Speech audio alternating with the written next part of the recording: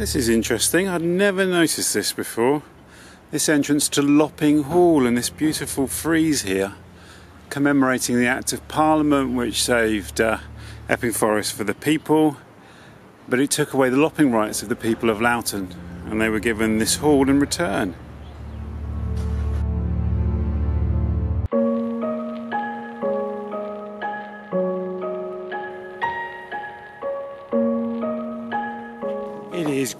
Great to be back in Epping Forest. It's the 11th of October today, so we're well and truly into autumn. And there's been days recently where it's felt like winter, to be honest with you.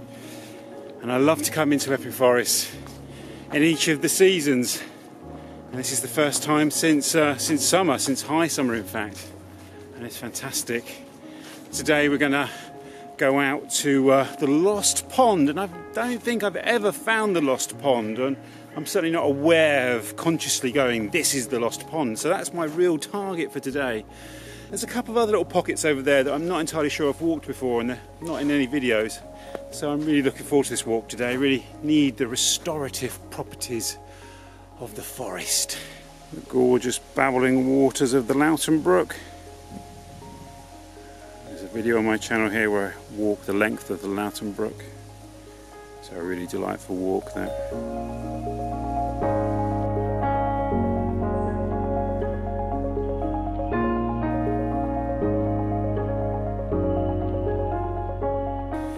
So it's still obviously mushroom season in the forest.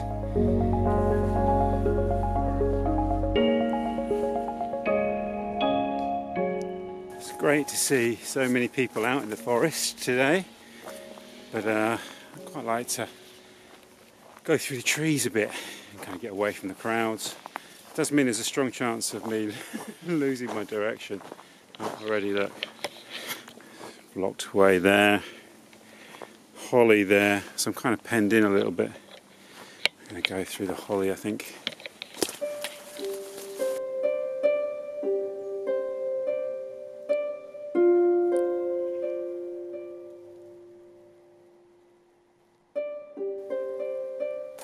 Fungi really do look like they could be from another world, don't they? I talked before about the idea that somehow fungi communicate with each other, that there are these vast networks beneath the ground that connect the fungi and that somehow they represent some sort of, I don't know, collective organism that's possibly connected to the roots of the trees. I mean, maybe we're the kind of sort of dumbest thing wandering around in the forest. well, I mean, I am. I'm going to speak for myself, I guess.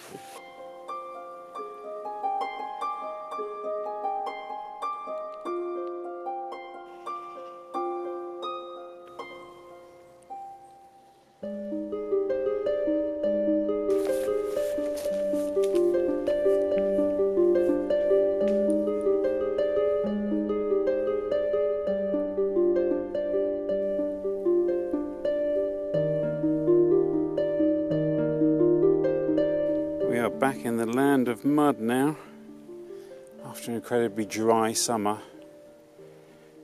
We're going to be wading through ankle deep mud now for the next six months. when I'm walking along here by the Loughton Brook, makes me think of all the various bits of forest lore, legends of Boudicca and Dick Turpin, or even Cassivelaunus of the king of the Catuvellauni. He's been linked with the area by some. All sorts of myths and legends are connected with the forest. Less of a myth and a legend is the fact that the, uh, the great sculptor and painter Jacob Epstein lived in Loughton and he used to come and paint in Epping Forest. And there's a painting of a pond that somebody told me they thought was the Lost Pond. So it'll be interesting to see if it matches up.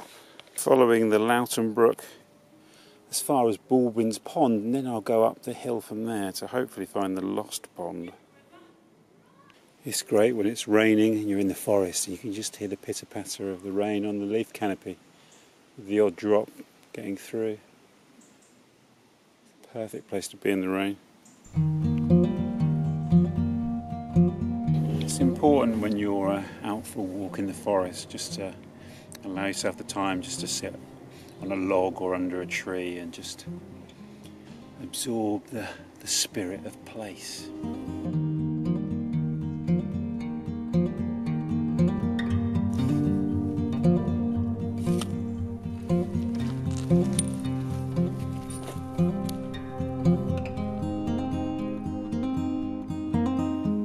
something awe-inspiring about this part of the forest. The way the trees loom over the Loughton Brook. You have to marvel at the diversity of London when you consider some of the recent walks, like when I walked down through Leytonstone to West Ham Park, and then when we were walking through central London up through Bloomsbury and down through Soho to Piccadilly Circus, and now we're in this glorious forest. It's all part of the same city, all part of the same ecosystem. So here we have Baldwin's Pond, and just up the hill from here should be the Lost Pond.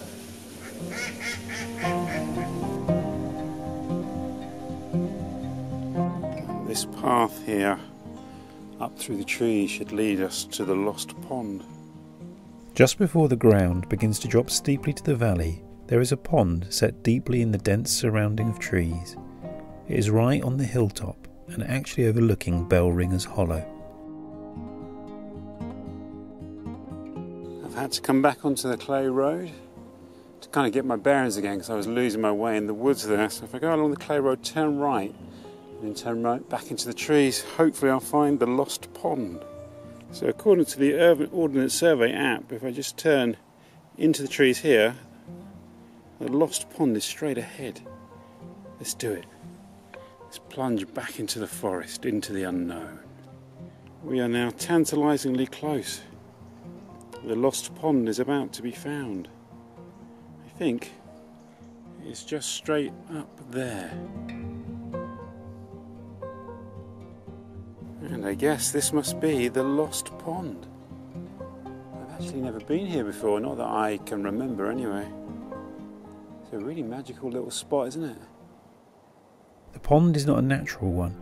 It was made many years ago by supplying Loughton with gravel. But nature and the passing of the years have concealed the scars, and the pond has settled beautifully into the forest scene. Somebody has left some white roses here in the water, or beside the water. I don't know that it has an official name.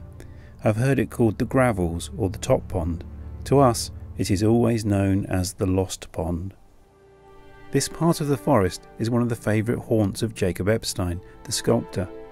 I have many times seen him painting, more often in the autumn, in the vicinity of Monk Wood, seated before his easel and canvas, oblivious or indifferent to the infrequent passer by. Many of his pictures show the brilliant colours of the autumn in the beech woods, the forest dressed in its reds and yellows and oranges. On one occasion, by the Lost Pond, where I came across him working, we discussed painting and photography and composition in pictures, and I mentioned how we had come to give the name to the pond.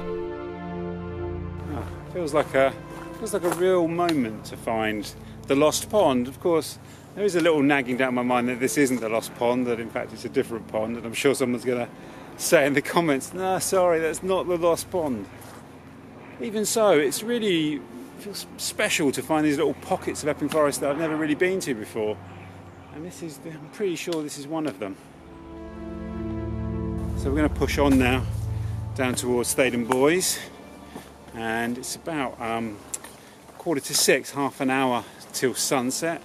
Did spend the winter kind of coming out into Epping Forest about a couple of hours before sunset and ending up navigating my way through the pitch black. I'm okay at doing that now, but um, I'm gonna, I want to go down towards Deer Shelter Plain, I think, and go that way into Theydon Bois, which is where this walk should end. But of course, with me, you never really know.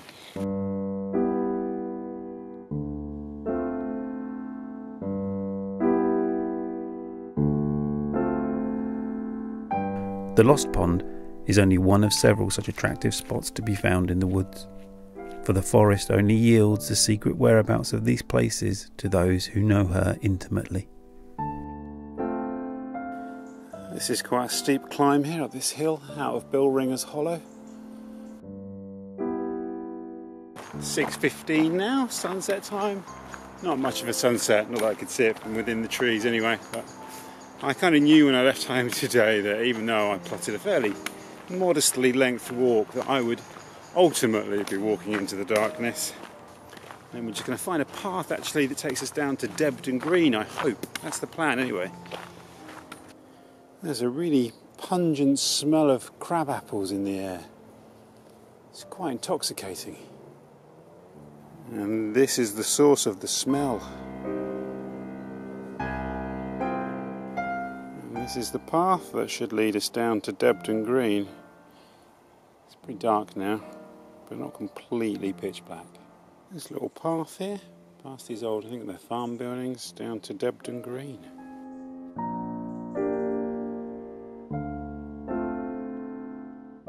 Just going to go along Debden Lane in the dark now. At the end of here, eventually, is Theydon Bois Station.